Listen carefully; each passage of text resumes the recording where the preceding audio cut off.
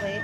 在慈济素食市集负责端咖啡，来自非洲布吉纳法索的江德曼正在接受志工培训。感觉就是一个大家庭，大家都会互相照顾，而不是单纯那种所谓的 NGO 而已。他现在的身份是一个教授。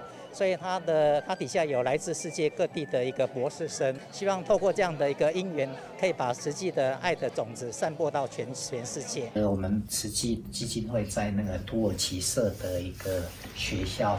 为了接引中山大学教授江德曼，慈济职工杨明清还搭飞机随他回到非洲，在当地参与小型关怀行动。他想办法让他来了解慈济，希望他学到实际的精神之后，可以回到非洲，将慈济的精神发扬光大。来台湾也我有遇到很多就是帮忙我的人，帮忙其他人，就觉得是我的我最想要做的事。现今江德曼不仅带领学生参访高雄静思堂，更会卷起衣袖到环保站做回收。往后他会继续把慈济的爱传出去。大爱新闻学林郑瑞平、林道明高雄报道。今年二十三岁。